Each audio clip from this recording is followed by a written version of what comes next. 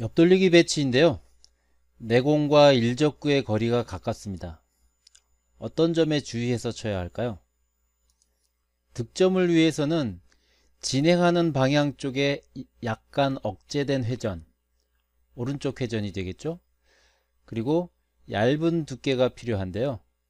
내공과 일적구가 가까이 있습니다. 이렇게 진행 방향 쪽의 재회전으로 얇은 두께를 칠 때는 내공과 일적구의 거리가 가깝기 때문에 얇은 두께만으로도 크게 반발하면서 각도가 커져서 길게 실패하기 쉽습니다.